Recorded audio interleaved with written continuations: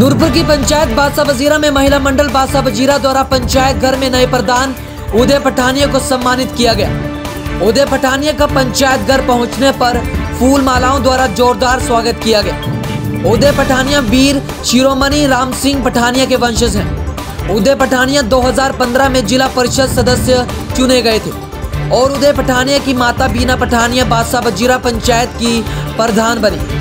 पूरा परिवार शुरू से ही देश सेवा व समाज सेवा में दिन रात जनता की सेवा में तत्पर रहता है। उदय पठानिया दिन हो या रात, जनता की सेवा में बिना किसी राजनीतिक भेदभाव से लगे रहते हैं। दिन रात जनता की सेवा व गाँव के काम करवाने की वजह से जनता ने फिर उन्हें प्रधान बनाया व अपना आशीर्वाद दिया। जो कि हमारी न्यू पंचायत जो कि नियुक्त हुई है, हम उनके वेलकम के लिए यहाँ पर हैं।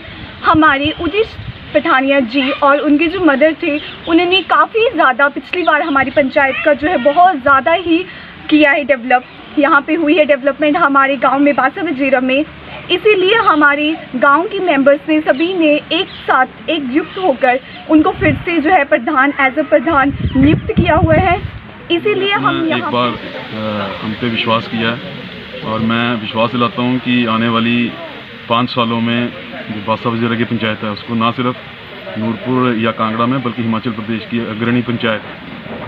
में हम इसको लेकर हुआ था, महिला मंडल से, कि हम इनको एक बढ़िया कम्युनिटी हॉल जो है, बना के देंगे। तो ये जो जगह जहाँ आप बैठे हुए हैं, यहाँ पर आज इसका जो कम्युनिटी हॉल है, इसका उद्घाटन हुआ है शिलान्यास हुआ है। और हम तीन महीने के अंदर अंदर जो है, ये बिल्डिंग बना के महिला मंडल को समर्पित कर देंगे।